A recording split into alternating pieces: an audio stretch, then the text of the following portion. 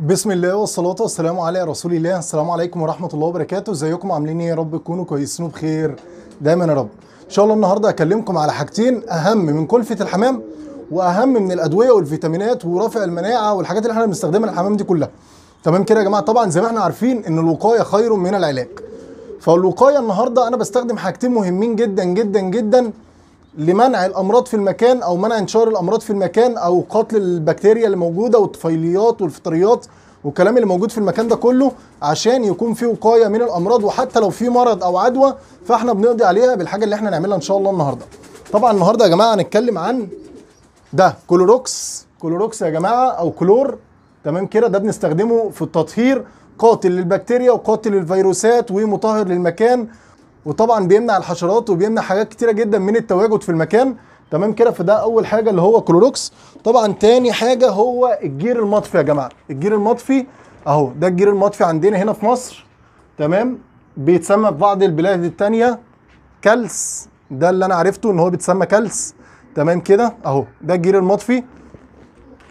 ده يا جماعة غير الجير الحي. الجير الحي اللي بيطلع زي نار كده عامل زي مية النار كده بيطلع بخار لما بيجي عليه ميه ده المطفي بتاعه. تمام كده؟ عشان بس الناس تبقى عارفة. طبعا دي شكارة آه، مش قليلة 25 كيلو تقريبا. تمام؟ أو 20 كيلو. آه، سعرها كان 15 جنيه حاليا بقيت أجيبها ب 20 جنيه. طبعا أنا ما بستغناش عن ده والله يا جماعة ما بستغنى عنه وما بعرفش انضف من غيره. طول ما هو مش موجود عندي أنا ما بنضفش وأي حد يقول لك ده مضر للحمام قول له تعالى فرجني على حمامك وفرجني على مكانك وفرجني النظافة عندك عاملة إزاي وبعد كده أبقى أتكلم. الحمد لله بفضل الله سبع ثمان سنين شغال بيه. الناس اللي متابعاني شايفة وعارفة. سبع ثمان سنين بشتغل بالجير المطفي بفرشه في أرضية الأوضة بفرشه في الرفوف تحت الحمام بحطه في طواجن التحديق تحت فرش التحديق تحت التحديقة بتاعت الحمام عشان يمنع الرطوبة ويمنع البلل ويقتل البكتيريا ويقتل الطفيليات والفطريات. فمعلش اللي يقول لك غير كده قول له تعالى فرجني على مكانك كده و- واعمل اشتغل عملي كده وريني الوقاية بتاعتك وريني إيه الدنيا عندك عاملة إزاي. تمام كده؟ عشان إيه؟ الكلام سهل مفيش أسهل منه إنما الفعل هو اللي صعب. كلها بتعرف تتكلم بس مش كلها إيه بتعرف تحافظ على الحاجة اللي عندها الحمد لله بفضل الله. الدنيا شغالة وماشية 10 على 10 تمام؟ فالكلور يا جماعة أنا بطهر بيه المكان بطهر بيه المكان. بحطه على المية في البخاخة بالشكل ده. تمام؟ ده موجود عندي على طول أهو. تمام كده البخاخة فيها اهي تمام؟ ده محطوط عندي على طول في البخاخة مية بكلور. أي رف تحت الحمام برشه السلكات الأرضية بتاعت السلاكه برش الحيطان حيطان الأوضة كلها أو العشة أو السقف بتاع الأوضة برش عليه مية بكلور. تمام كده؟ ركز معايا. الأرضية بتاعت الأوضة الأسمنت الخرسانة بتاعت الأوضة ديت السقف ده برش عليها مية بكلور وبفرشها جير مطفي. تمام كده؟ طواجن البيض اللي فيها الزغاليل بغسلها بمية بكلور بفرش فيها جير مطفي تحت التحديقة. بعد كده التحديقة أو الجرش اللي إحنا اتكلمنا عنه اللي هو الأبيض ده. تمام كده يا جماعة؟ التحديقة أو الجرش اللي هو إيه؟ الحجر الجيري المطحون ده. تمام كده؟ أهو ده حجر جيري مطحون في حبوب خشنة زي كده زي الحصوة أهو وفي ناعم. تمام كده؟ ده بفرشه إيه؟ تحت البيض بتاع الحمام الحمام بيبيض عليه ويطلع الزغاليل عليه وبيملح منه بياكل منه بيحدق منه والكلام ده كله. تمام كده؟ طيب زي ما قلنا أول حاجة كلوروكس. بنطهر بيه أي حاجة موجودة عندنا. أهم حاجة ما تزودش النسبة قوي. يعني أنا مثلا البخاخة ال 2 لتر دي بحط عليها مثلا غطيين ثلاثة من ال- الإزازة بتاعة الكلوروكس بحط عليها حوالي غطيين أو ثلاثة من ده. تمام كده بملى الغطا ده مرتين ثلاثة وبفضيه على البخاخه دي. تمام كده؟ يعني حوالي مثلا إيه؟ الغطا ده بياخد له حوالي من 5 ل 7 سم يعني من من 15 ل 20 سم على البخاخة دي. تمام كده؟ من 15 ل 20 مللي على البخاخة ال 2 لتر دي. تمام؟ طيب. بطهر منه زي ما قلنا الرفوف السلكات الطواجن المساقي الأكلات بغسلها بالميه بالكلوروكس المساقي والأكلات لو فيها أي فطريات فيها أي فيروسات فيها أي بكتيريا بنقضي عليها. تمام كده يا جماعة؟ طيب أرضية الأوضة الحيطان السقف البيبان البيبان السلكات بيبان باب الأوضة الشباك الكلام ده كله ليه؟ لأن في أي أمراض موجودة عندك في المكان هتقعد على الحيطان هتقعد على الأرضية هتقعد في رفوف تحت الحمام الكلام ده. طيب بعد ما بطهر بالمية بالكلوروكس بعمل إيه؟ بجيب الجير المطفي ده أول حاجة بفرش منه في الرفوف تحت الحمام. تمام كده؟ لو الحمام عندي فيه إسهالات ولا حاجة الإسهال بينزل في الجير الجير بيمتص البلل والرطوبة اللي فيه وبيقضي على الفيروسات أو البكتيريا اللي فيه أو الطفيليات أو أي حاجة موجودة فيه. تمام؟ ركز معايا. تاني حاجة أرضية الأوضة. تمام؟ بعد ما بكنس الأوضة واكحت الأرضية كويس من الزرق اللي فيها برش مية بالكلوروكس في أرضية الأوضة. بعد كده بروح جايب الجير المطفي وأروح رشش رشه خفيفة على الأرضية وهي إيه؟ وهي مبلولة مية. تمام؟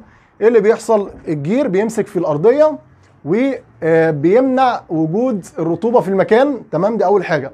بيقضي على البكتيريا والفيروسات والحشرات والطفيليات والفطريات وأي حاجة موجودة فين؟ في أرضية الأوضة نفسها. تمام كده يا جماعة؟ طيب لو الحمام كل منه هقول لك ما فيهوش أي مشكلة. لو الكلوروكس جه على الأكل أو على المية ما فيهوش أي مشكلة. تمام؟ إحنا المية اللي بنشربها بتاعت الحنفية هتلاقي فيها أصلا طعم الكلوروكس أو ريحة الكلوروكس ده ريحة الكلور. تمام كده؟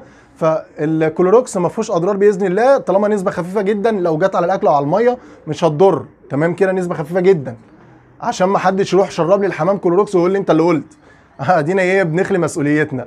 تمام كده الأرضية الجير بنرشه وهي الأرضية مبلولة وبنرش طبقة خفيفة جدا. أنا عن نفسي بجيب مصفى سلك كده وأحط فيها الجير وأصفي كده إيه خفيف طبقة خفيفة رشة خفيفة كده مجرد ما تنزل على الأرضية وهي مبلولة بتمسك في أرضية المكان. تمام؟ إنما ما رشش على الأرضية وهي إيه وهي ناشفة. ما رشش على الأرضية وهي ناشفة لأن الحمام أول ما هيرفرف كده هيروح مطير الجير ده كله معفر المكان عندك هتلاقي الدنيا مغبرة مغبرة إيه؟ مغبرة جير. إنما أنا برش رشة خفيفة مجرد ما الأرض بتنشف ما بقاش فيها جير ولا فيها أي حاجة. بيمسك في الأرضية وما بيبقاش موجود وما بيبقاش باين. تمام كده؟ وبنضف زي ما قلنا قبل كده بنضف الأرضية عندنا المكان ده بتتنضف مثلا كل أسبوع. السلكات والرفوف والكلام ده ممكن مرتين أو ثلاثة في الأسبوع. يعني حاليا لما يكون عندي حمام معاه زغاليل بنضف مرتين ثلاثة في الأسبوع عشان الحمام لما بيكون معاه زغاليل بيعمل زرق واسهالات كتير تمام؟ وبيعمل كميات كبيرة فمع الرطوبة ومع إن الجو أساسا برد إحنا في الشتاء دلوقتي فالكلام ده بيعمل إيه؟ بيخلي الدنيا ترطب عندك وتعمل ريحة تمام كده؟ فأنا إيه؟ أول بأول بنضف الرفوف ولو الرفوف مبلوله رطبة كده بروح رش فيها إيه؟ رشة الجير المطفي رشة خفيفة كده على الرف وهو مبلول ولو مش مبلول بروح رششه رشه رشة من الكلوروكس ده في الرف بتاع الحمام. تمام؟ يعني الرف أهو. أروح شادد الرف كده ومديله رشة كلوروكس كده وبعد كده أروح جايب الجير وأروح مديله رشة جير كده أهو. بصوا يا جماعة رشة خفيفة قوي كده. تمام؟ رشة خفيفة بالشكل ده. فبتخلي إيه؟ الرف ما يبقاش فيه رطوبة ولو عندك فيه الحمام بيعمل أي اسهالات فيها بكتيريا فيها فيروسات فيها أي حاجة بص كده هينزل الاسهال هنا. الرف يمتص الاسهال على طول. تمام كده يا جماعة؟ فالكلوروكس ده الإزازة ب 15 جنيه. تمام؟ الجير المطفي ده الشكاره زي ما قلنا كانت ب 15 بقت ب 20 جنيه.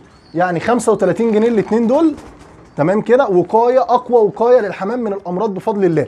يعني الوقاية أهم من العلاج. طالما أنت ما بتدخلش عندك حمام مريض تمام وقافل على حمامك والدنيا حلوة يبقى تحاول تحافظ على الحمام جوه نفسه.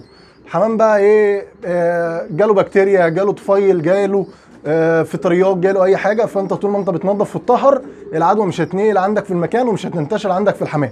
تمام؟ طيب كان عندك عدوى فيروسية موجودة في المكان. الحمام عندك كان جاي له جدري كان جاي له روشة كان جاي له برد كان جاي له سالمونيلا كان جاي له أي مرض وأنت بتعالج أو أنت عالجت فطول ما أنت بتعالج أو بعد العلاج لازم تطهر بكلوروكس وتفرش جير مطفي عشان تقضي على العدوى من المكان ما تظهرش عندك كل شوية.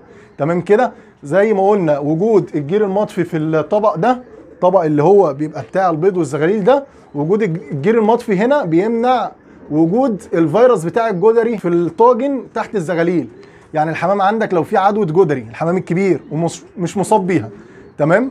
فالزرق بتاعه لما بينزل هنا يا جماعة بيبقى ملوث بالفيروس. الفيروس ممكن يعيش في الطاجن ده شهور وممكن سنة تمام؟ يعيش في الطاجن.